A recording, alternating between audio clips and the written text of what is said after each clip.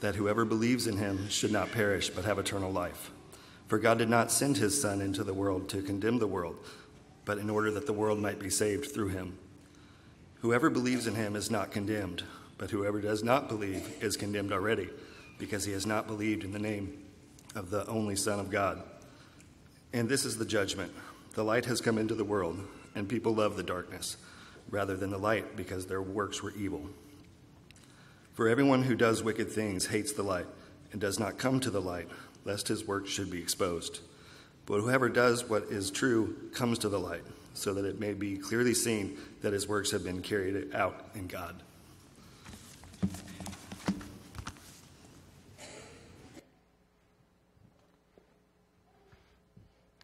Thank you, Jeffrey. Well, it's great to see everybody here, even if it is hot outside, or maybe that's the reason why you're here. It's not hot in here, so. Uh, but this is a good thing to be able to worship God. I'm excited about next week because next week we are going to have Chuck, who is going to be installed as an elder here. Uh, I'm excited about that. That's going to be a great thing. Uh, thank you, Justin, for leading the songs. Uh, you realize that uh, you're doing a great job with it, but you have to lead people like me. So I think that might be where the breakdown comes sometimes. But uh, you guys sounded great this time. For a first time on those songs, that's really good. Uh, it's always good to be able to learn new songs and new ways to be able to praise. And so that's, that's been a great thing for us. And uh, new ways to praise is always something amazing. All right, so we've been talking about abundance for a while, and uh, this is the last one in that series of things on abundance. So, the first one was just about increase and the fact that we do have a God of increase. And the second one we talked about from increase to abundance because that's what he talks about is abundance, but not just having abundant stuff that you have to insure and store, but about having abundant life and so he talks about bigger life and bigger things that you do with that. And so that's one of the things that he describes is this abundant, fruitful life and the secret of being content. The third one we talked about from small to great, that's where it begins. God always starts small and it gets bigger and it goes to great things. And that's really what God's plan is. And so if we wanted to get discouraged about the fact that it's not big already, well, you don't understand. God's plan is wherever you are now is small and it's going to get bigger, it's going to get greater, it's going to have more abundance. And so that's one of the principles that God has. And then we started talking about abundant grace, the fact that God has saved us, the fact that Jesus paid the price for us. But it's not just a matter of him doing that and no response from us, because after all, he took Barabbas' place, but Barabbas didn't have any grace. But when he took Paul's place, Paul got great grace. And to the point he said, This is who I am because of Jesus. And then we talked about abundant family that comes out of those relationships and out of that blessing to Abraham that because he was a man of faith and God promised to bring someone that would bless all nations from his descendant, then we as people of faith are able to get that blessing. What a great thing that is. And today we want to talk about abundant love. And so let's see if we can't describe a little bit. This topic is just so big, it's, it's huge. How do you talk about the love of God? But uh, I thought we would start with maybe the most familiar passage in the Bible that everyone starts with, and that's uh, John 3:16. And so, I'm a slide or two behind, aren't I? John 3:16 is the one that everybody knows. In fact, to the point where you don't even have to quote the verse anymore. All you have to do is write it on a poster board and hold it up in a football game and everybody knows what you're talking about, right? I mean, we do that. We assume everybody's going to know that. And so this talks about God loving the world and not wanting us to be lost and that that's the reason why Jesus came and God gave his son so that we would not perish. Certainly, God loves the world. He did not send, but we don't know verse 17.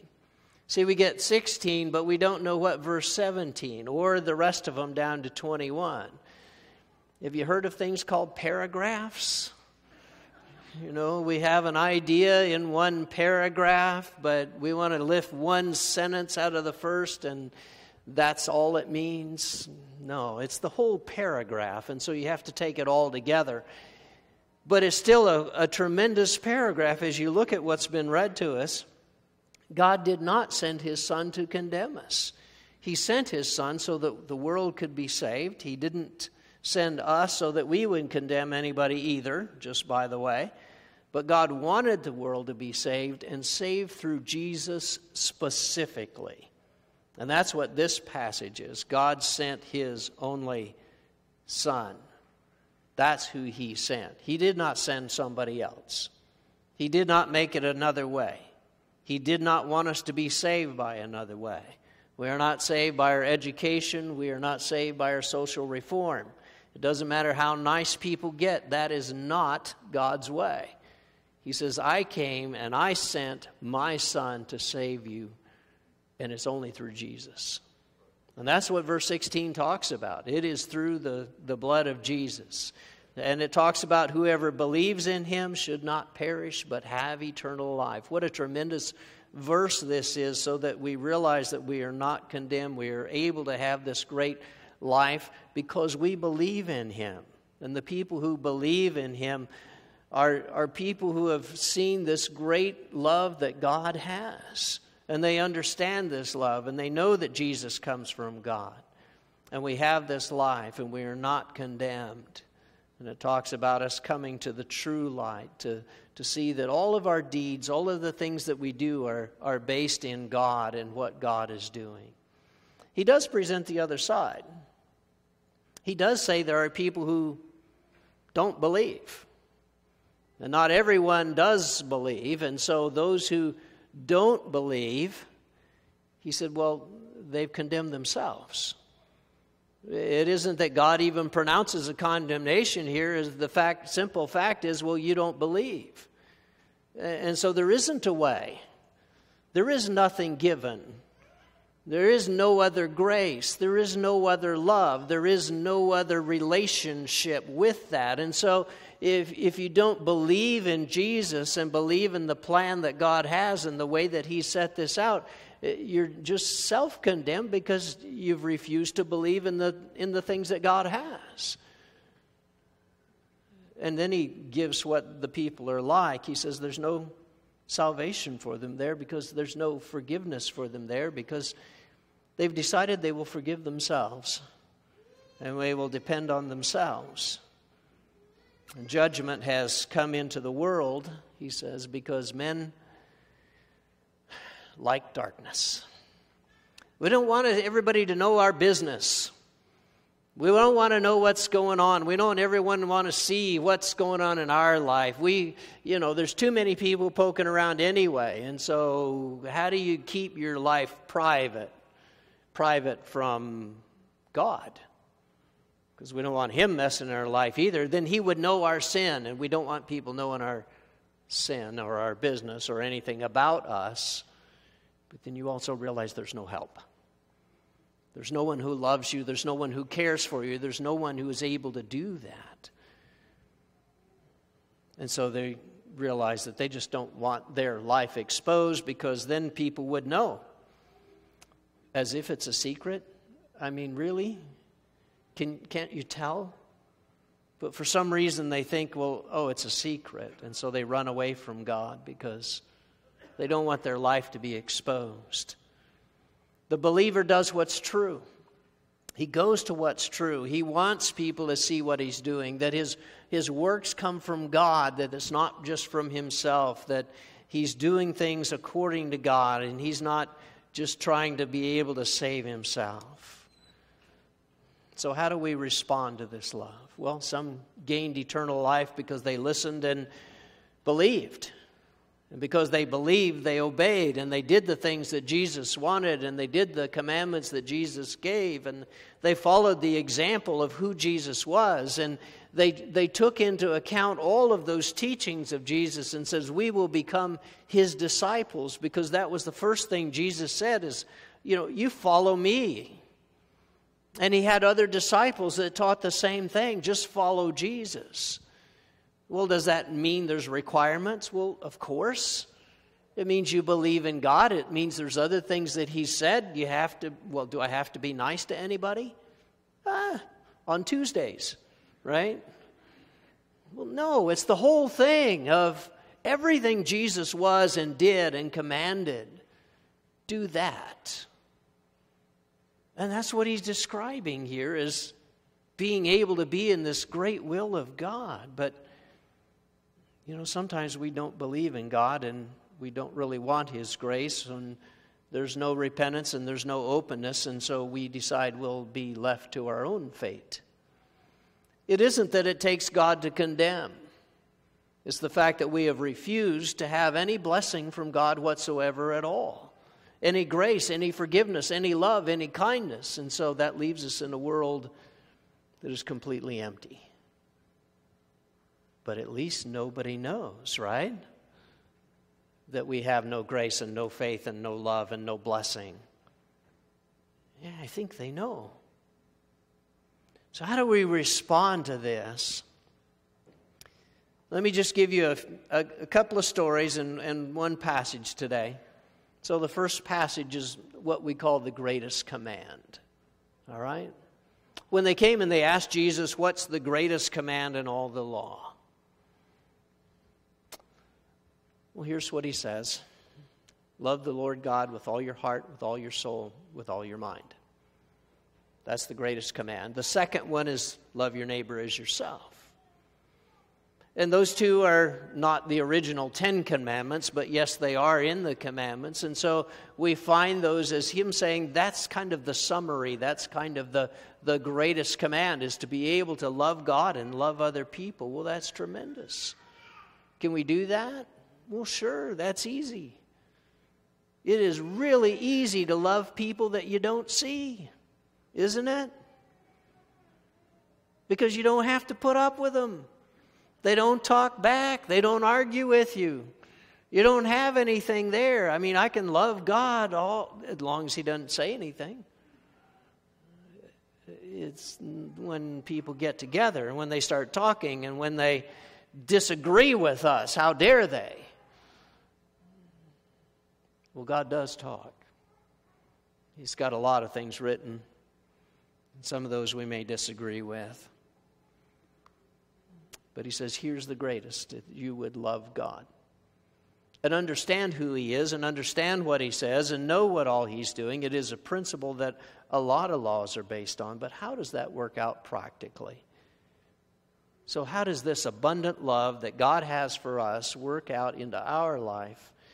And how would we respond to that great love? Well, we're going to love God, all right.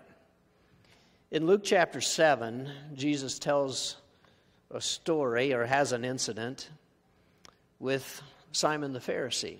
He's invited to his house to eat. So he goes to Simon's house. It's a prestigious thing. Simon is one of the Pharisees, one of the rulers, one of the people that's really high up, and uh, invites Jesus over. This is great. We're going to have a great, you know, power lunch. And so the two guys get together and they're ready to have this great power lunch as they get together. And uh, there's not much accommodation for Jesus. During that time, it was custom to kind of, you know, they wore sandals and they walked, and so their feet were dirty, and so they might wash their feet or have a slave wash their feet or something like that. But he doesn't really do that. He doesn't really take care of that. After all, I invited you to lunch. Let's go to lunch. And so they're there at the table. And as they're there at the table, this woman from the city comes in. That's what it describes her as a woman from the city. Now, okay, we would not think of that as being something bad.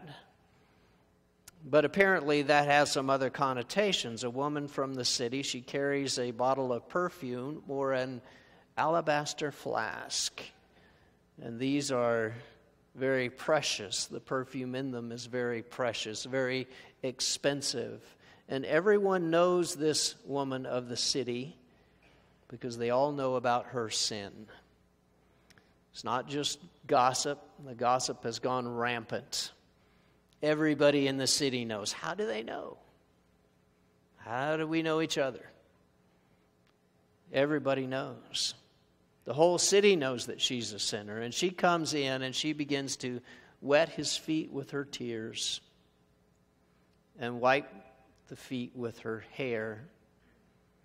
And once the feet are clean, to anoint them with his perfume. And Simon, seeing all of this, you realize how they did back in those times. It wasn't like us. She's not under the table. Okay? You realize how that is? So if the table's right here, Jesus is actually like this. And so he's eating food here, so she is back behind him at his feet. Now, that would still be a little bit disturbing, don't you think?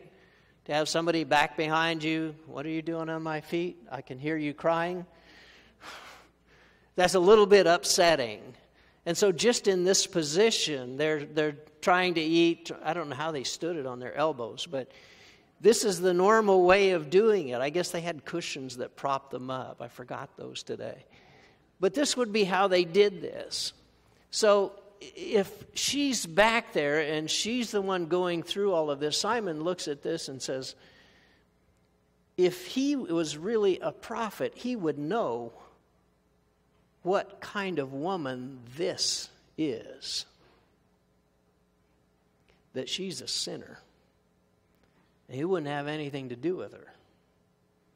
So he must not be a real prophet of God because no godly man would ever allow such a horrible sinner to come in and make such a spectacle over him.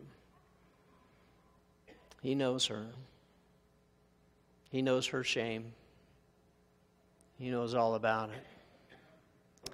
The woman, on the other hand, continues to cry and take her tears on Jesus' dirty feet. So Jesus says, I have something to say to you, Simon. A certain money lender had two debtors. One owed 500 denarii and the other 50. And when they could not pay, he canceled the debt of both. Now, which of them will love him more? And Simon answered, The one I suppose to whom he canceled the larger debt. And he said to him, You have judged rightly. And then turning toward the woman, he said to Simon, Do you see this woman? I entered your house, and you gave me no water for my feet, but she has wet my feet with her tears and wiped them with her hair. You gave me no kiss, but from the time I came in, she has not ceased to kiss my feet. You did not anoint my head with oil, but she has anointed my feet with ointment. Therefore, I tell you, her sins, which are many, are forgiven, for she loved much. But he who is forgiven little loves little. And he said to her, Your sins are forgiven. And when those who were at table with him began to say among themselves, Who is this who even forgives sins? And he said to the woman, Your faith has saved you. Go in peace. So it begins with a story problem, right? Money lender, two debtors, one's 500, one's 50. He forgives them both. And then this is such an odd story problem. It's always like, you know, two cars, one's going 50 miles an hour, one's going 70 miles an hour at the other, they're going in opposite directions. And when they cross, what color is the dog on the corner? You know, I'm just like, uh, I'm not sure. But which one will love him more is kind of one of those. What do you mean, which one will love him more? He, he was forgiving. And he says, Well, I, I guess the one he forgave more. And he says, Well, of course, the one he forgave more. But he's talking to Simon, trying to figure out what Simon is. Simon sees her shame. Shame is the thing that hangs around long after forgiveness has already taken place. And Simon did nothing about her shame. Simon didn't try and take away her shame. Simon increases her shame by pointing out the fact that, Well, he wouldn't touch her if he really knew, because we all avoid people like that. And so Jesus turns and, Do you see this woman? Well, that's kind of an obvious statement, isn't it? Obviously, he didn't see the woman. He saw what the woman represented, he never saw her. That she's a person who's repenting, she's a person who's sorry about her sin. She is in such grief over what has happened in her life and where she has allowed herself to be. And she doesn't know what to do and she doesn't know how to get out of it. And so she takes it all out on Jesus' feet. And she brings the most precious thing that she's got, the most expensive thing, and she says, I'll just give him that. But she wouldn't dare interrupt the lunch, and so she comes and starts washing his feet because she loved much. How does he know she loved much? There's no conversation recorded where they discussed about this love. It's because she repented much. That's how he knows she loves much is well look what she's doing. Look at how she handles her repentance. This is showing her love for God because after all she is, you know, doing this to my feet. She's showing that this man of God, this way of approach because how do you find God anyway? For a woman in that day and time, would you go to the temple? You're not allowed. And she goes to the one guy that she knows has a connection with God, and she says, Well, I believe you're the Son of God. Let me at least try to do something for you, for God. It's difficult, isn't it? How do we find God? Where in the world is God? Where would you go to God? And so she's kind of stuck in that place of going, Well, I'll go to Jesus then, because I believe he's Son of God, and that's where I'll make this connection. So I'll, I'll repent to him, I'll worship him, I'll bow before him. And she gives up all her dignity and all of her pretension and says, It does not matter. The main thing that I want you to realize is love repents. I know that's not one of the things we like to do today. It's not one of the obvious choices. When you love somebody, you send them a card. You might say, I love you, or you slug them on the arm, or you do something that's going to say, Yeah, I kind of care about you. She repents with this incredible openness because what she's doing is she's responding to the love of God. Those who have been forgiven much loves much. So we're supposed to sin a lot more. No. You've already got enough. You don't need to be doing any more. But you need to repent of it. And that's the thing that is different for her those who have been forgiven much because they repented much. Sometimes we're not forgiven because we say, oh, well, hope he'll forget about it. I will. That's not love. That's not a connection to God. And so she does things for him. She humbles himself to the servant of God. Jesus says, Your faith has saved you you can finally have peace. And she does.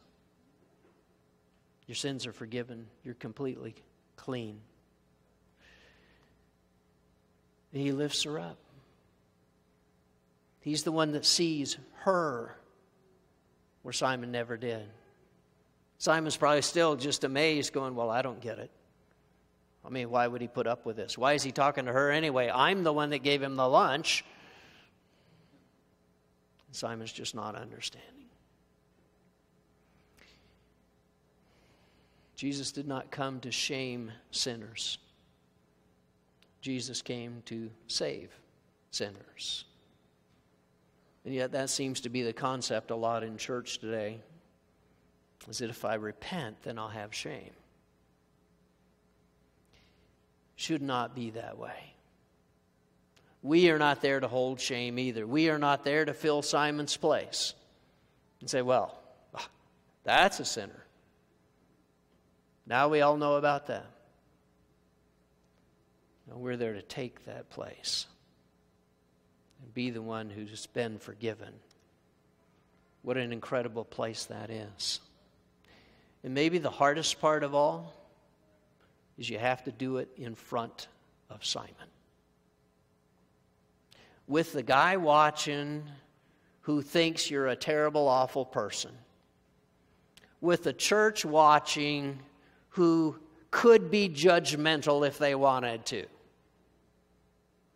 And that's where she does it. She says, I don't care what anybody's going to think anymore. I just want some peace.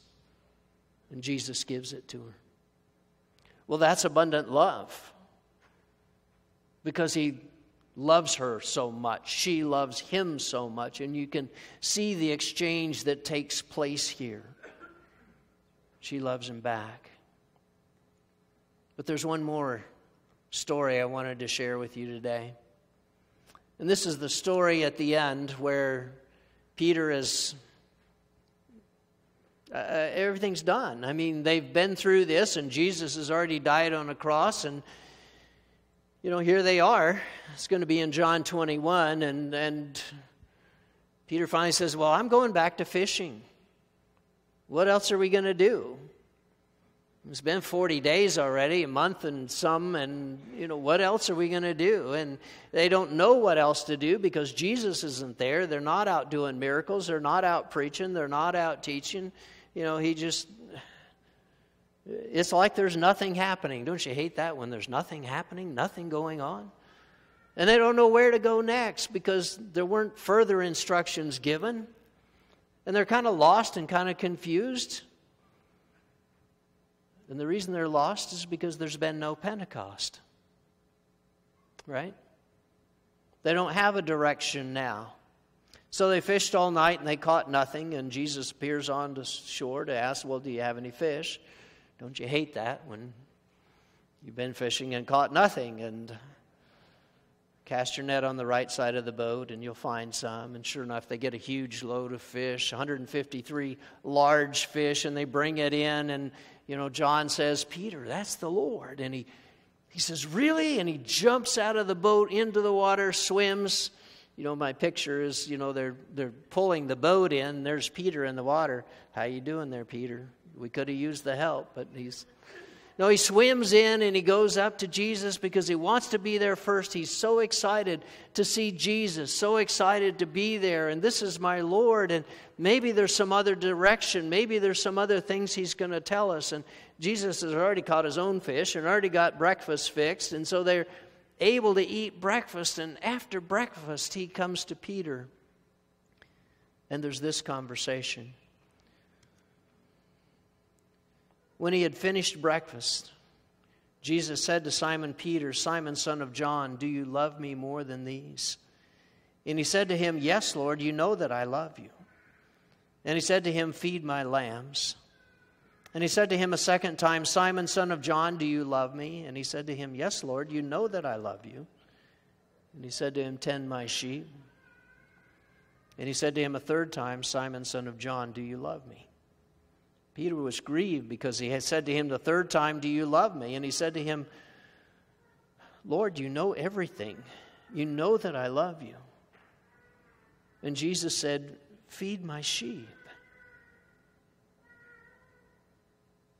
It's got to be very hard when somebody asks you the same thing three times and you're giving them the same answer three times and you get, well, are you asking me a different question? Didn't I answer that already? And it's like, well, I don't think you believe me.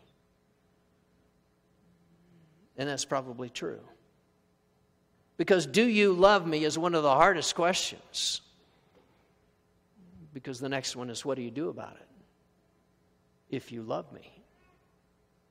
And especially when you say that to God, do you love me? Then, okay, yeah, I love you up there, big guy in the sky. You know, you're fine. No, that's not it. That's not loving God. And Jesus here gives him specific. Do you love me more than these? These what? these fish? Yeah, that's been his life all the time. He's gotten all of his living from fishing and fish. And do you love me more than these? Well, yes, I love you more than my job, more than my business, more than these disciples. Yeah, I like you a lot better than them. Do you love me more than these? And then his answer is feed my sheep, tend my lambs. Three times. Jesus links love with taking care of other Christians. He did not say, go into all the world and solve world hunger. He didn't say, take care of all the people of the world. He said, feed my sheep. Mine, only mine. I'm not sending you to everybody. This is not a worldwide issue, a worldwide statement, but if you love me, then you feed my sheep. Remember what we talked about at the beginning? You know, some believe, and then there's those guys that don't. So the my sheep is going to be more the guys that believe, and the. He didn't say go take care of everybody. He said, I want you to feed my sheep. And Peter is grieved and upset. Do you know why? Because there's been no Pentecost. And as soon as Pentecost happens, he knows exactly what he's supposed to do. He never has a question about that again. Feed my sheep? Absolutely. We've got 3,000 of them, and they're all sinful women. Well, no, not all. But there's a whole bunch of them who are all murderers. They stood there and they cried for Jesus to be crucified. Feed my sheep? Absolutely, God. I, I get it. I understand it. It's what needs to happen because this is the place where it's all come to. Sheep are everywhere, and there's so much guilt for killing a Savior. There's so much time that they have wasted. There's so much hatred from the rulers and the Pharisees. There's so much lostness in these people that they don't know which way to go. And I got to balance it by love in that church. Feed my sheep. And it's incredible the way they took care of each other, right? Not a needy person among them didn't say there weren't needy people in Jerusalem.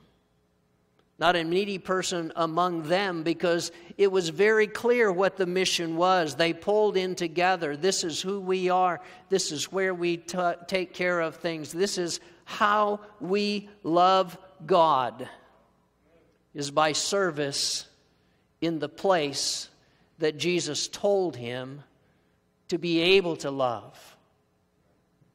See, the woman had to find Jesus and wash his feet.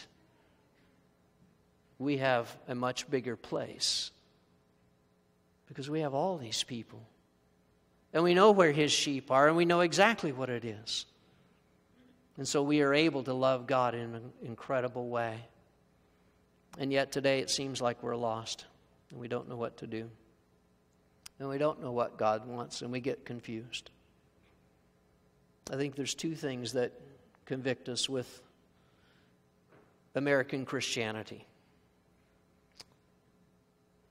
There are no tears in our repentance, and we have forgotten that there was a Pentecost.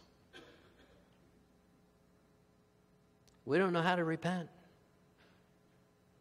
We'd rather carry our own shame than have any real, genuine sorrow tears and our repentance. And Pentecost defined the place to love Jesus. It said, This is where you do it. This is the place. This is how. And you have this great example of the early church and how they took care of each other. And yet, so much of what you see in the church now is people who are like, I don't need the church. I don't want the church. I don't even want to be part of that. I think we ought to do let's, let's go do something else. Let's go feed homeless. Let's go feed other people. Let's not take care of ourselves. Let's go out and all these other things that we're doing. All those are fine. Habitat for Humanity is great. Feeding starving children is great, but not at the expense of loving God in His church.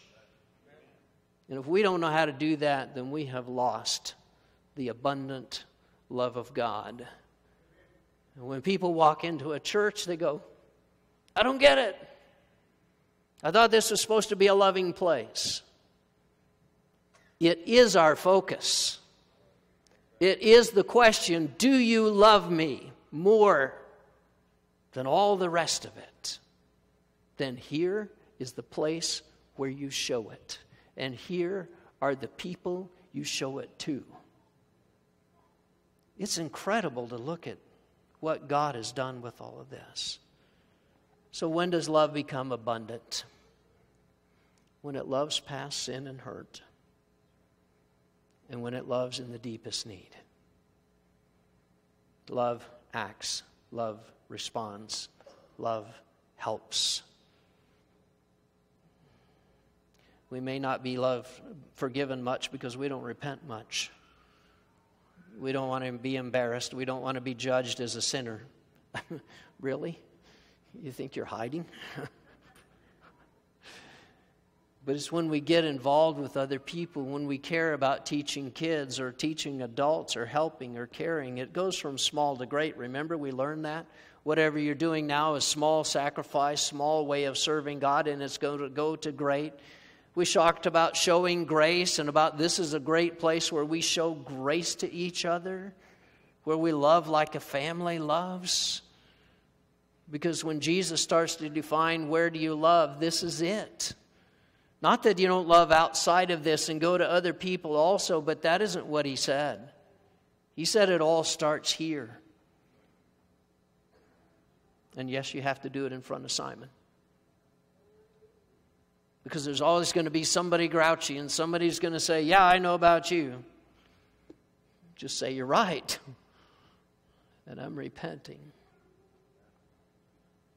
Jesus has abundant love. And He wants you to have that as well. So that's really your question today. When does love become abundant in your life? Has it been able to love you past all the sin and hurt and able to fill some of your deepest need? Can we help with that? That's kind of what church is about, isn't it? So that we can pray for each other and help each other. Well, if we're able to help you at all, would you come while we stand and sing?